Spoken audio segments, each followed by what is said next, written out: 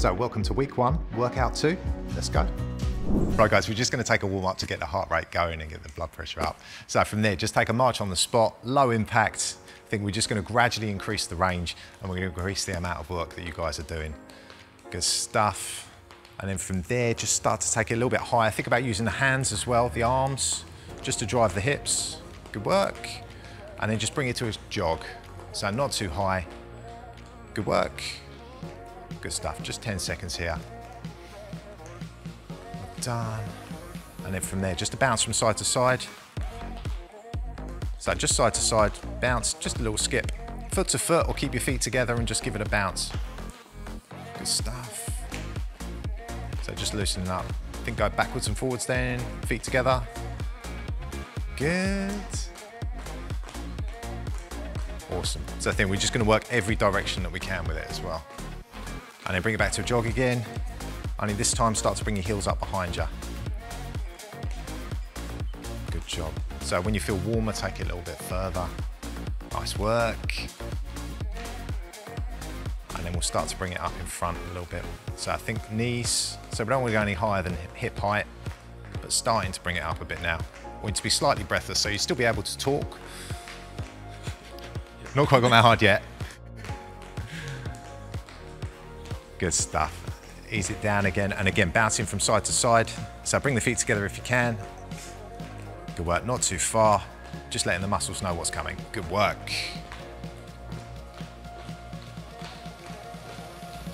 Good stuff. And then from there, just bring the knees up again in front. Just a quick 10 seconds here. Starting to go a little bit higher now. Heart rate coming up. Good work. Excellent. Ease it down. Heels to your butt.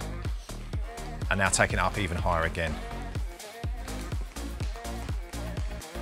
Good job. Now start to ease this down and just bouncing on the spot. It'll take a few seconds here. And what we're gonna do, this is gonna bring us into our first exercise. So we're gonna do running on the spot. You guys go as high as you want to, but it's gonna be 30 seconds. So if you wanna go high, you can go as high as you want, work as hard as you want, or you can go lower and you take it, take it to a march. Easy? Lovely stuff. Right, so ease it down and we'll start the first 30 seconds. Three, two, one, go. So high knee run. So however high you want to work. If you feel warm enough, then start to go bigger. Good stuff. So we want to be breathless after this. We want to feel this as well in the quads and the hips. Try and keep your chest up as you're doing it. Try not to look down. Keep your spine nice and long. Good work.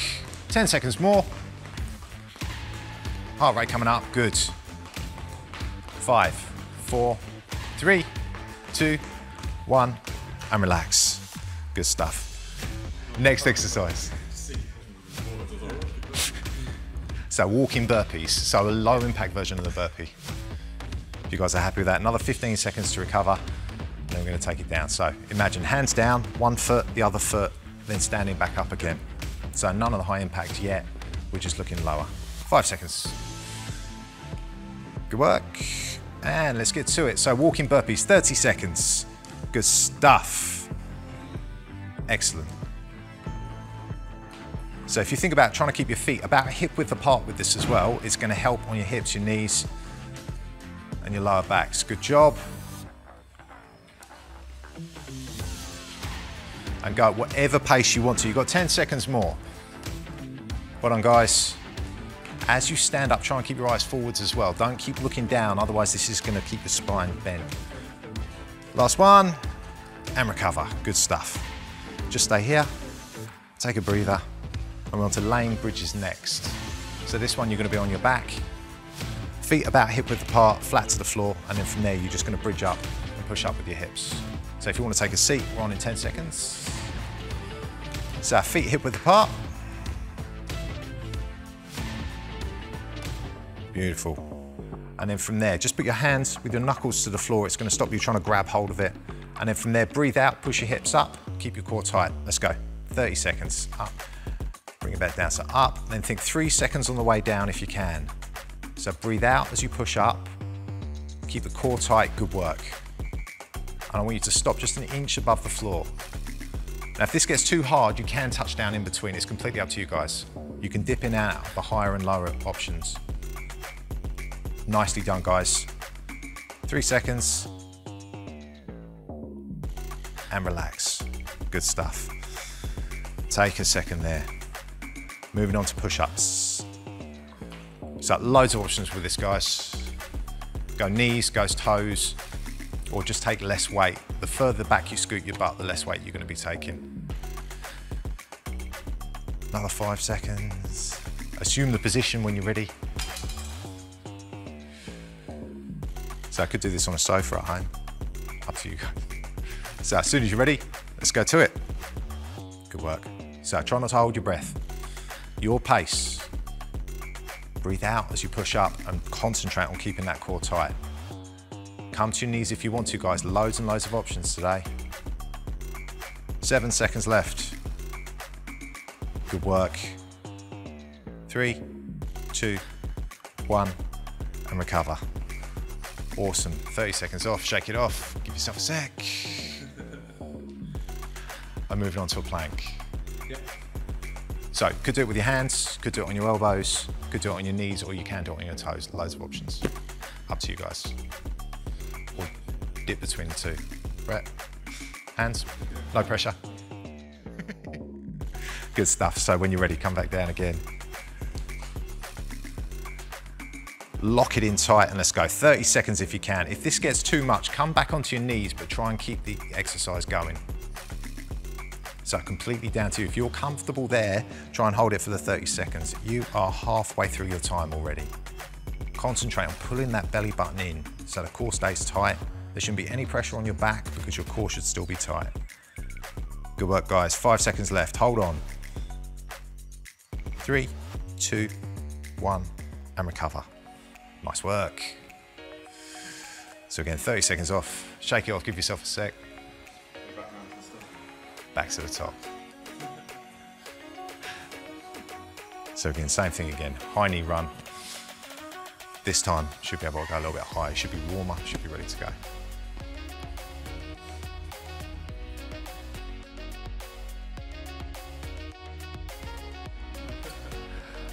Right, 30 seconds, let's go, time. No pressure at all, just look at the person next to you and know they're quietly judging you. Good stuff. Go on, keep it going, That's 10 seconds, 20 seconds more. So keep it going, if you can, stay on the balls of the feet as well. Make it that little bit harder, good work. Don't forget to use your arms as well. Drive up and they'll pull your hips through. Awesome, five seconds. Three, two, one, time. Nicely done. 30 seconds off, should be breathing heavier now.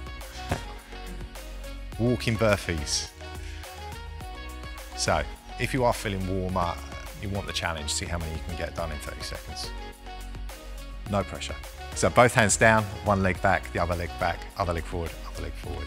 Right, let's do it. So 30 seconds, let's go. Stuff. Guys, well done. So same thing. Little tweak, try and take your feet about hip width apart. This will help with balance and it's gonna take a bit of the pressure off your knees as well. Good stuff, guys. Coming up for 10 seconds. Whole body should be working now. Three, two, one, and recover. Good stuff, 30 seconds off. Take a sec, flush that acid out and then bring yourselves to the floor again. So laying bridges. Same thing again. So sit yourselves up, use the time, get yourself into position. Feet should be flat on the floor, hip width apart again. And remember, knuckles down towards the floor. So we're not going to grab hold for dear life. Five seconds. So bring yourself back, prepare, bend the knees, and then breathe out, push up as soon as you're ready. Let's go. Again, an inch off the floor if you can, and as with the plank, try and do the same thing. Try and keep the core tight with this. So your whole spine should be long and neutral for this.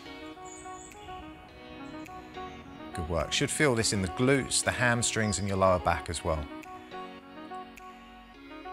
Nicely done, guys. Don't forget to breathe. Breathe out as you push up. Three, two, one, and relax. Good stuff. Two exercises left. We've got the push-ups again, and then we've got a plank hold, and that's it. You guys are done.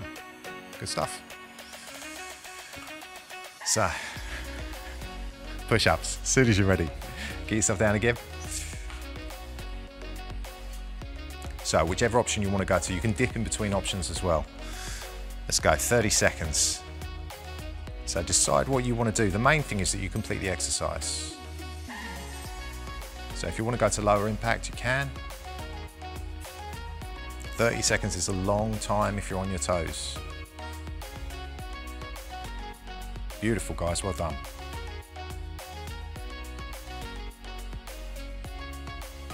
Nice work. So the higher in the air your butt goes, the less weight you're taking on the hands. Loads of options. Three, two, one, and relax. Perfect timing. Good stuff. Last exercise, so plank hold. So again, same thing, knees, toes, hands or elbows, whatever you guys want to do. Pick something that's going to challenge you, but not going to kill you. Good stuff, five seconds. Okay, into position, 30 seconds on, and same thing again. So you've already been using your core for the other exercises. The push-ups and the bridges will have challenged it. So it should be harder this time round. Good stuff, guys. Just concentrate, keep that spine flat and long. So if you feel any pressure in your lower back, it's because your core's starting to fail and your back's starting to arch. So just come to your knees if you feel that. Good work. And relax. Excellent. Job done. Twice through. Whole workout done, guys. Well done. Good work. Yeah, if you guys want to go on your fronts to begin. Mm -hmm. Mix it up. And then from there, just take one foot, pull it back to your butt. Quads to start off with. And your other arm, you could just put underneath your head and chill. Good. So as with the other guys, if you want to increase the stretch, just push your hips forwards a little bit. And should feel this in the front of the leg into your quads. Again, just about 30 seconds here, let the muscle start to ease off. If the stretch starts to go, then go a little bit further. Good work, and then just switch sides.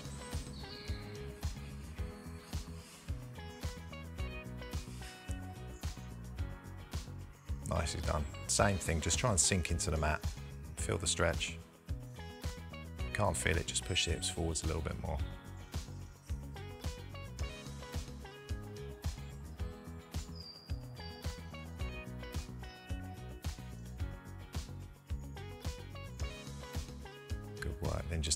That back. What you're gonna do, is just come onto your knees into child pose. So with the hands stay on the floor and stretch yourself back. So put the arms out straight in front of you.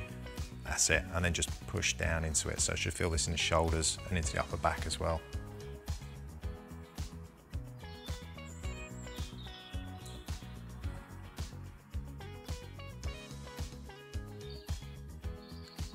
Good stuff. Then just ease this back, come back onto your knees. Good work. Then from there, take one knee through. So you're just going to step up onto your hand, onto your foot. That's it. And then from there, rear hip flexor. So all you're gonna do is push that hip forwards to the back. Might wanna lengthen your stride for this. Good. Nice job. So I should feel this at the front hip on the rear side where your knee is down. Yeah? Good stuff. And then from there, stay where you are and then just straighten the front leg out and tip forwards for hamstrings. Hopefully without falling over.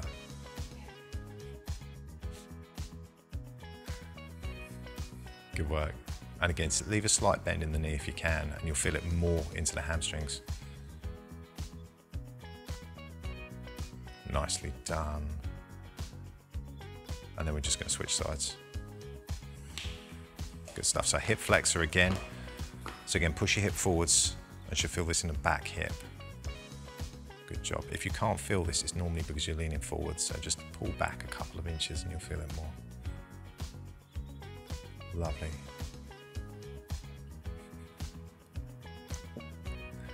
And again, same thing with this side. So just stretch back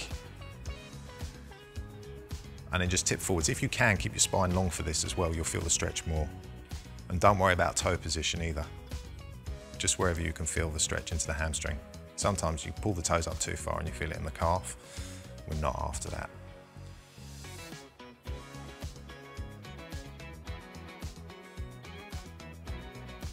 Good work. And then just pull the leg back, come onto your knees.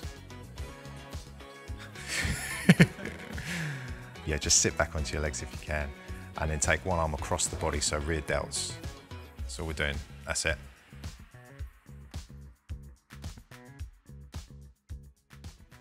So if you hold onto your elbow, drop the shoulder an inch and then engage a little bit further. Got it. Good stuff. So I should feel this on the back of the arms into the shoulder as well. Rear delts. Good work. And then switch sides, go with the other side. Good stuff. Last couple of stretches. So just hold onto that elbow, take it back for triceps. So the arm you've got just pop it behind your head for tricep stretch like Brett. And again, lift the head, just lift the chest a couple of inches and you'll increase the stretch. Solid, good work.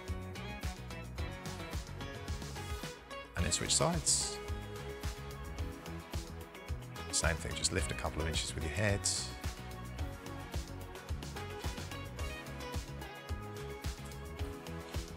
Just let that tension go. Bring yourselves back down and you are done guys. Really good work. Excellent. There was this one period of time, uh, I think it was year 10 or whatever, and I got badly injured. I was out for like nine months. And I really realized how important sport was for my mental health there because, yeah, I got into, I got into trouble back then at school, which I'd never had because I could release all the energy and everything playing sport. Whereas when I was injured, I was in school just causing trouble because I was bored and I was angry, frustrated. So I'd be cheeky, uh, just mess around, not do any of the work, couldn't be bothered. Because I was literally just upset that I couldn't play sport. So for me, say I've been on a bad job whatever, I can just take my mind off of it by go home, play with my friends there at home, like you just you're just laughing for no reason. You're talking about absolute rubbish, and it just helps you like detox your mind in a way. Doing physical exercise and sport really takes your mind off that, and oh, like I couldn't suggest it enough. And just having people to talk to as well, or finding something for you that works to just switch the mind. So, video games, uh, anything, reading books, like yeah, I've started reading books again as well. Uh, not very good at reading, but it's just a great way to indulge yourself in something that's so make believe that it's kind of cringy, but like really great to just switch your mind away.